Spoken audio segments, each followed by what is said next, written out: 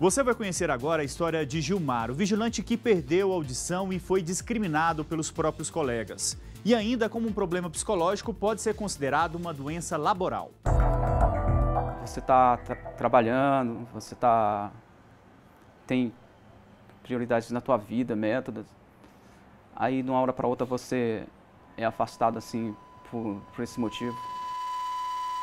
Imagine conviver todos os dias com esse barulho.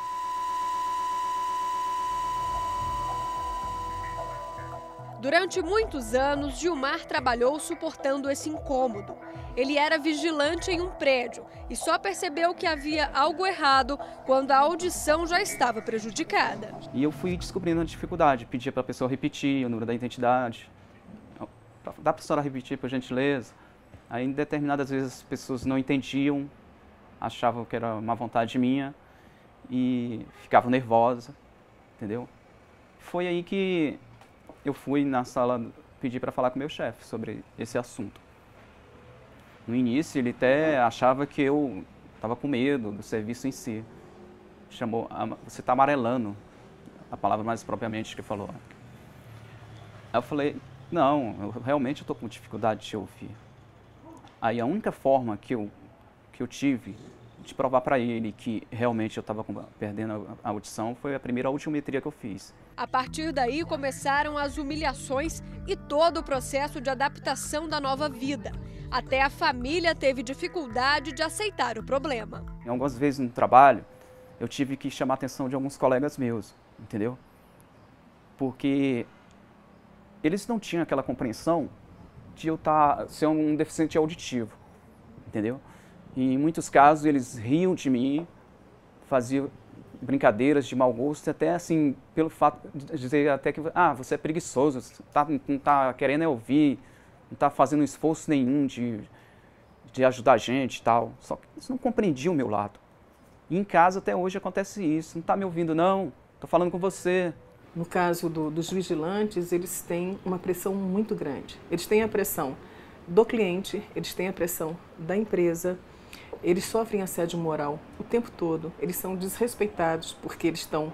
A função deles é colocar limites e as pessoas não gostam de, de que sejam colocados seus limites. Gilmar passa por um acompanhamento psicológico e psiquiátrico. A deficiência lhe rendeu uma depressão e até dificuldade na fala.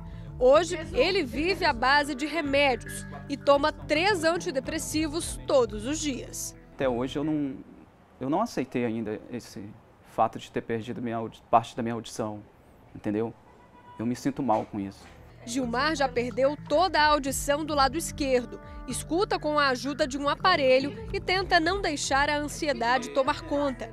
Isso só piora o quadro dele. Quando você, eu passo por um, momento de estresse, é, o que acontece? Esses zumbidos aumentam, entendeu? A tensão é muito grande, aí eles aumentam, como se fosse uma panela de pressão, fica aquele barulho muito alto, muito forte. A psicóloga esclarece que a empresa deveria acompanhar o processo de perto, mas isso não acontece. Falta conscientização no mundo empresarial em relação às doenças laborais. Eu tenho vários casos. Ele trabalhou oito anos de uma forma eficiente e eficaz. Um dia ele está no quadro de depressão, ele está no quadro de ansiedade, enfim, ele não faz, ele não corresponde à expectativa naquele dia, a empresa quer mandá-lo embora. Como quer mandar embora? Ele passou oito anos sem errar. Não é uma escolha mais, é uma questão de adaptação, entendeu? Tanto que os tratamentos já me fizeram ter consciência disso. Sandra ainda destaca o papel do INSS nesse processo.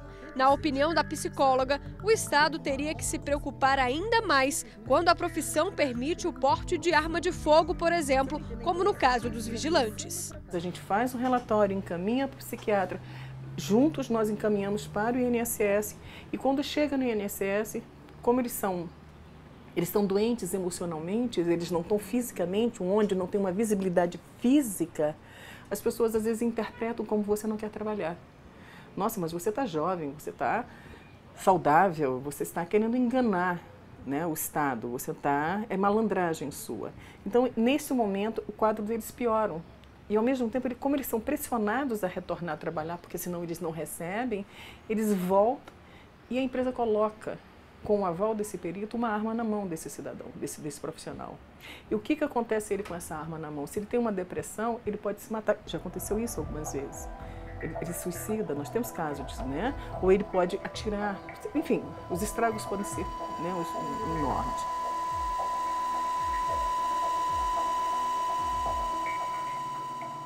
Nós temos uma sociedade que você é o que você produz. O que, quem é você? A primeira coisa que você faz é falar a tua profissão. Eu sou psicóloga, eu sou jornalista, eu sou bancária, eu sou, eu, enfim, eu, a minha referência está na minha produção. O que que eu faço?